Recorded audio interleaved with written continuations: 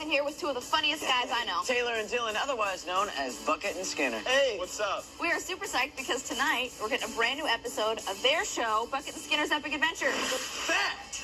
Hey, you used my catchphrase. Uh-huh. Never do it again. Got it. but first, let's kick things off with the craziest iCarly ever. Oh, yeah. This is going to be good. The world premiere of I Lost My Mind starts oh. right now.